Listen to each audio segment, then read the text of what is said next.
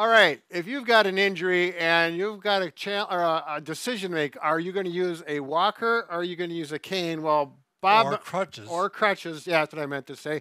Bob and I have done this for what 60 years together total. I hate to even say. Yeah, and we'll give you some good advice so that you're safe and you feel comfortable with whatever you decide No to use. falling. That's right. So hold on. Okay, Bob. Uh, typically, people who are younger, uh, athletic maybe, but just mobile in general, and they injure one leg, it's pretty typical they go to crutches. Right.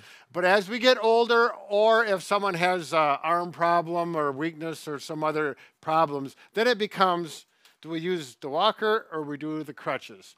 So a lot of people want to go to the crutches be- Right. because they look uh, more modern. uh, more modern. Uh, some other advantages of, of the crutches are more mobile. They're Right. they're a little easier to. Upstairs. You can go up and down steps much easier, uh, and they're just they're lighter. You can throw them in the car easier.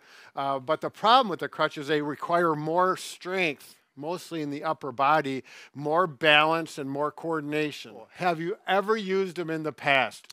If you've had an injury, you know, even if it's 10 years ago and you used them, you have that feel. It's kind of like riding a bike, but not quite, you know, not that exact, but Yeah, if you are elderly and it's been 20 years, I mean, mm, that's a different story. Yeah, so good judgment with that particular factor, but it, it does help if you if you've never used them. Right. Yeah, so. But say this is the injured leg, and I'll have the person stand on one leg and let go and see if they can balance for at least 15 seconds. Up to 30 seconds is even better yet.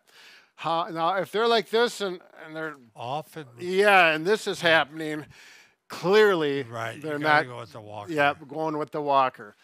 If, if you have a walker, you know, sometimes if you just can hold yourself, just just toe touch. Um, Sure. but you need to feel confident with this. Crutches, you have to adjust them properly. Uh, when you put them feet one shoulder width apart, crutches out like where they are here, about 45 degree angles from the toes. When you let your, well, the first thing you do is check that you can get two or three fingers between the pad and your armpit here. Comfortably. Yep. Uh, these are a little tall on me actually, and they don't go any shorter. Uh, so they, this would be a little bit tall for me. Tight, Yeah, I mean, I could use them in a pinch. I wouldn't use them for long periods of time. because they will pinch. Yeah, exactly. And then the next one, let your arms hang down, and the the hand hand uh, hand The grip- wrist. the hand grips should line up with the wrist.